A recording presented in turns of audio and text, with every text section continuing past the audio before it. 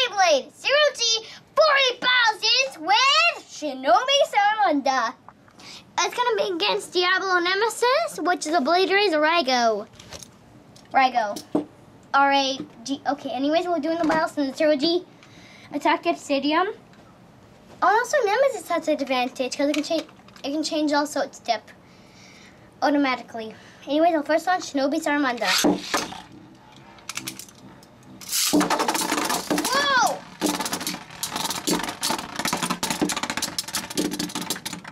Shinobi Saramanda did win.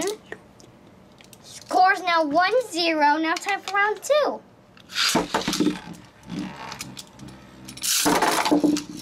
Sorry, I'll do redo.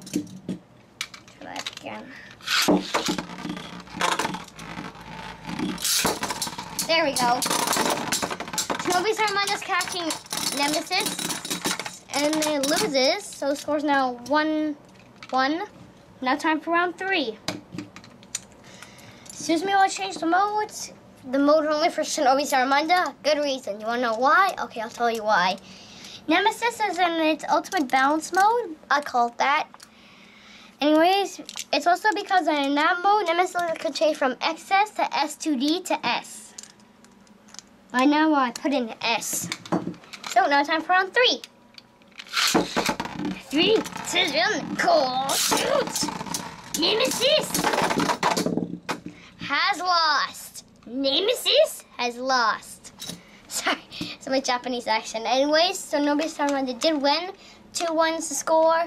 Round 4 is the round that we're to do.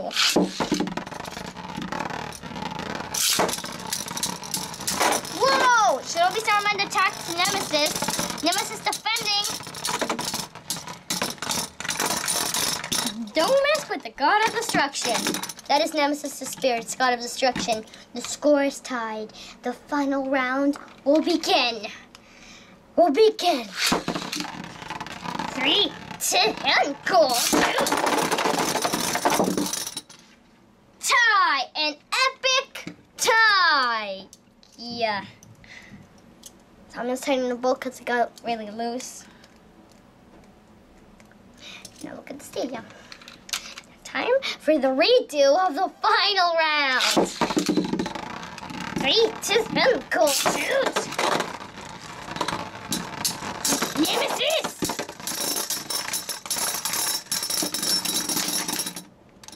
Super loose then. Like I said, no one messes with the god of destruction, which is Nemesis. Nemesis is the winner. Now, I wouldn't blame it because Nemesis is really strong. Make sure you like this video, make it your favorite, and share it. Please subscribe. Thanks for watching.